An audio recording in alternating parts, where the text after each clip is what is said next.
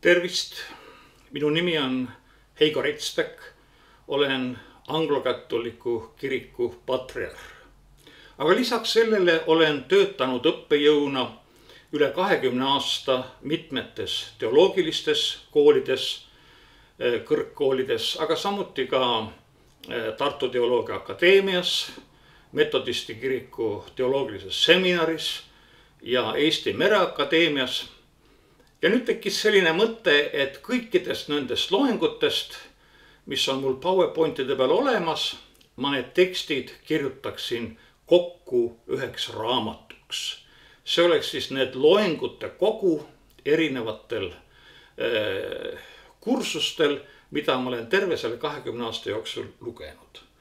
ja see tuleks siis pealkirjaga äh, Scripta in teoloogia ehk siis kirjutised teoloogiast, valikulisi teoloogilisi loenguid. ja loodan, et ka teie saate kaasa selleks aidata, annetada hooandja.ee kaudu, et see raamat võiks tõesti sündida ja välja antud saada.